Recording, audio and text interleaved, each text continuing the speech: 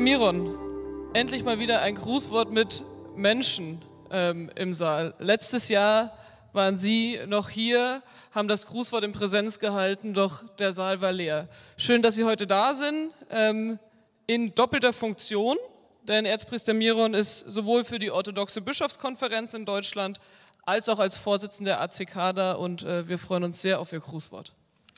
Ja, liebe Frau Präses, Hohe Synode, Metropolit Augustinus, der Vorsitzende der Orthodoxe Bischofskonferenz, schickt Ihnen folgendes Grußwort mit seinem Bedauern, nicht persönlich da sein zu können. Er ist unter uns gesagt, wir sind ja unter uns erst 84, da darf man schon etwas kürzer treten. Ich zitiere.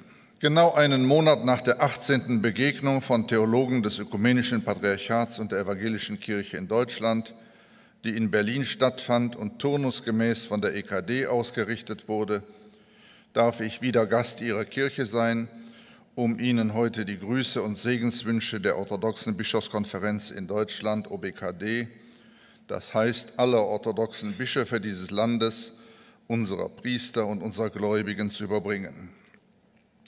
Unsere Dialogbegegnung in Berlin hatte das Thema unsere Beziehungen nach dem großen und heiligen Konzil von Kreta 2016, befasste sich also mit einem Aufbruch in der orthodoxen Kirche, der Auswirkungen, wie ich meine, positive Auswirkungen auch auf unsere ökumenischen Beziehungen gehabt hat und hat. Das ist sicherlich ein hoffnungsvoller Moment in einer Zeit, in der alle unsere Kirchen mit vielfältigen Problemen konfrontiert sind.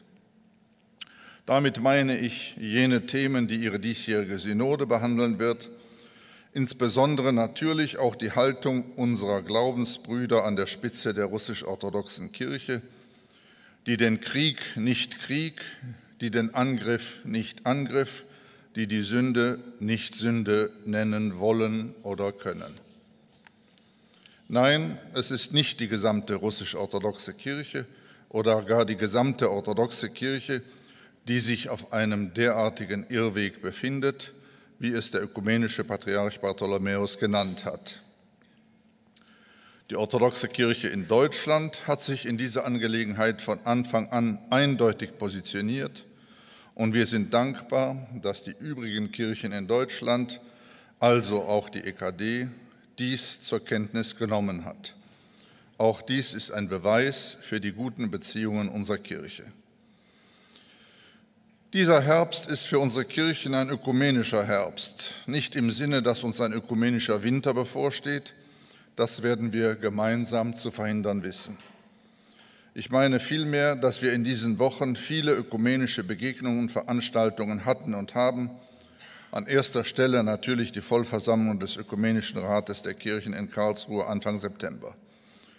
Nun gilt es, die dort aufgezeigten Perspektiven umzusetzen und mit Leben zu erfüllen. Das wollen wir gemeinsam tun. In diesem Sinne wünsche ich Ihnen eine gesegnete Zeit hier in Magdeburg, gute Beratungen und natürlich eine glückliche Hand bei allen anstehenden Entscheidungen. Vielen Dank.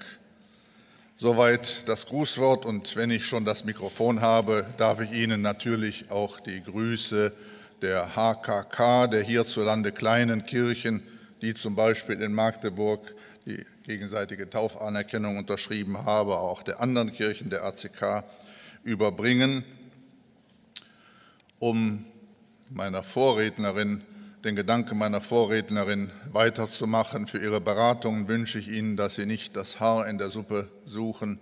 Ich wünsche, dass Sie das Salz finden. Aber achten Sie drauf, versalzen Sie nicht die Suppe. Danke.